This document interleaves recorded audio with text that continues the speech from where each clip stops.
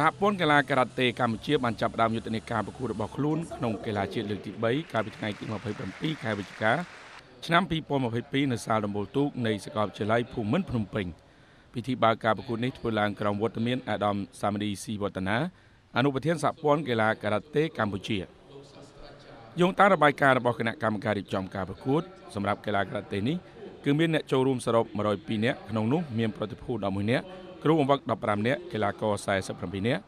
និងកីឡាការិនី29នាក់មកពី6ក្រសួងនិងរាជធានីខេត្តអាដាមសាមឌីស៊ីវឌ្ឍនាបានសម្ដែងការស្វាគមន៍យ៉ាងកក់ក្ដៅដល់ប្រតិភូកីឡាទាំងអស់ព្រមទាំងមន្ត្រីពាក់ព័ន្ធដែលបានចូលរួមការប្រកួតនេះ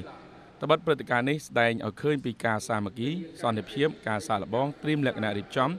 ពង្រឹងសមត្ថភាពដើម្បីធ្វើការវិតម្លៃនិងកែលម្អបំពេញបន្ថែមនៅចំណុចខ្វះខាតកម្រិតស្តង់ដារបទពិសោធន៍បច្ចេកទេសយុទ្ធសាស្ត្រ និងយុទ្ធវិធីសម្រាប់ការត្រៀម SEA Games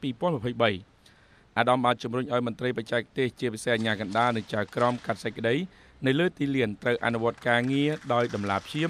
និងគ្មានការរើសអើងដើម្បីធ្វើឲ្យការប្រកួតកីឡាការ៉ាតេក្នុងព្រឹត្តិការណ៍កីឡាជាតិលើកទី3ឆ្នាំ2022នេះទទួលបានជោគជ័យស្របពេលដែលប្រភេទកីឡានេះបាននឹងកំពុងមានការរីកចម្រើននៅលើឆាកអន្តរជាតិ